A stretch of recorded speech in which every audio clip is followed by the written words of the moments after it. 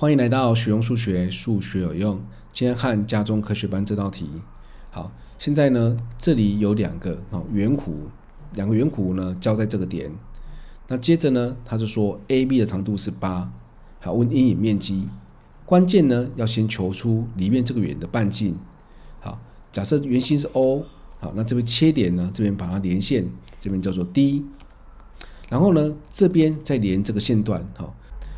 最关键是圆心跟切点连线共线，这样子呢，我们就有一个直角三角形。好，那接下来这段是 r，这段的长度呢就是八减 r，这里呢就是四，因此我们就可以列一个毕氏定理，八减 r 平会等于 r 平加上四平。好，这样子呢可以解出来 r 等于三啊。那接下来要算这个阴影面积呢，我们就把它切成三块。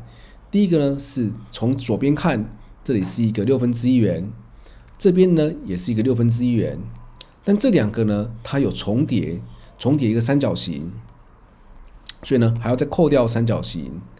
那扣掉三角形之后呢，是里这里这里面的部分，所以最后呢还要再扣掉一个圆。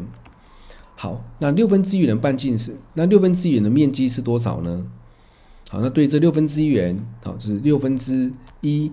乘上派乘上这个八的平方乘两份，接下来减掉三角形的面积，好，这是四的平方乘上根号三，那接着呢再减掉这个小圆的面积，好，三的平方派，那整理之后呢就可以得到此题的答案，好，所以关键就是哎圆心的连线，然后这边呢做一个直角三角形，利用毕氏定理就可以解出答案。